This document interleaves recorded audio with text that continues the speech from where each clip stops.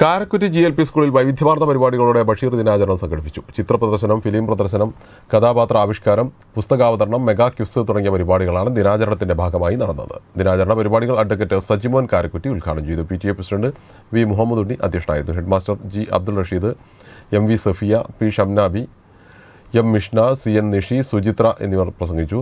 പരിപാടിയുടെ ഭാഗമായി നടന്ന ബഷീറിന്റെ ലോകം ചിത്ര പ്രദർശനം വി മുഹമ്മദ് ഉണ്ണി ഉദ്ഘാടനം ചെയ്തു.